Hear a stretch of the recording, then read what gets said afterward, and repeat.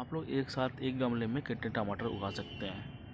आप काउंट करिए और मुझे बताइए आपने कितने टमाटर उगाए यहाँ देखिए यहाँ देखिए यहाँ देखिए।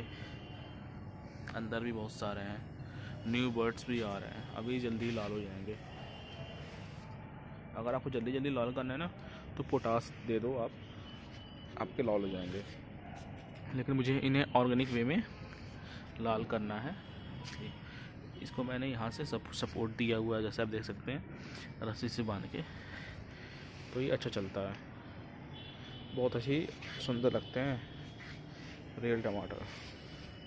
हाँ, इन्हें आप, आपको बंदरों से बचा कर रखना नहीं तो सारी मेहनत आपके बंदर लेके चले जाएँगे।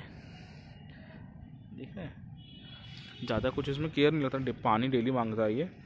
और हल्की सी केयर आपके फिर ये ऐसे हो जाएँगे। बहुत ही सुंदर सुंदर हाँ।